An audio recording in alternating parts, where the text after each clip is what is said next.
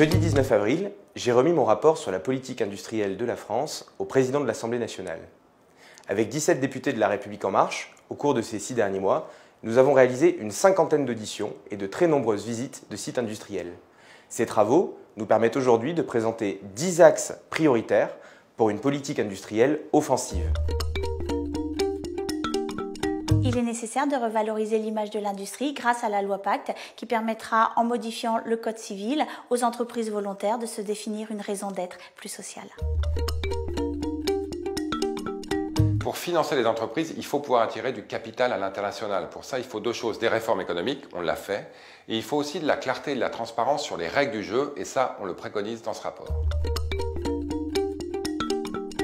Il est indispensable aujourd'hui de faire grandir nos industries. Pour cela, nous travaillons à la réorientation de l'épargne des Français vers les investissements productifs, mais aussi l'accompagnement des entreprises dans le cycle de vie de leurs projets. Bref, notre volonté, c'est de faire de nos PME de futurs champions d'industrie. Nous devons recentrer l'actionnariat public sur ses missions prioritaires pour protéger l'équilibre de notre économie face à la concurrence et maintenir un haut niveau de service public.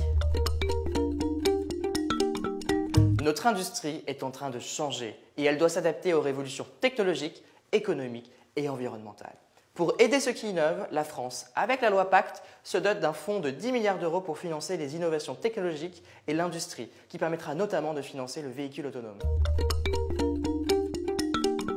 Oui, les investissements étrangers sont importants pour l'industrie française. En même temps, il faut être capable de les encadrer pour préserver nos industries stratégiques et sensibles. Utiliser des leviers juridiques et réglementaires pour promouvoir nos territoires. Le renforcement du décret des investissements étrangers en France dans la loi Pacte créera un régime de sanctions plus efficace en cas de non-respect des engagements d'un investisseur étranger vis-à-vis de l'État.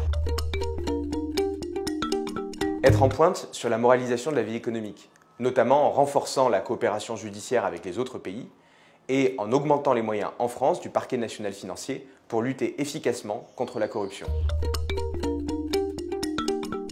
Notre objectif est de protéger nos entreprises stratégiques en les épaulant dans leur conquête à l'international. Pour cela, nous voulons muscler notre intelligence économique en optimisant et en rationalisant l'action de l'État jusque dans les territoires. Pour développer notre industrie, pour équilibrer les échanges, nous avons besoin de champions euh, à l'échelle européenne capables d'être sur les marchés internationaux. Pour cela, nous avons besoin d'une politique industrielle européenne. Ces 10 axes se déclinent en 50 actions opérationnelles à mettre en œuvre pour une politique industrielle conquérante qui va de l'avant et qui nous rend fiers de nos industries.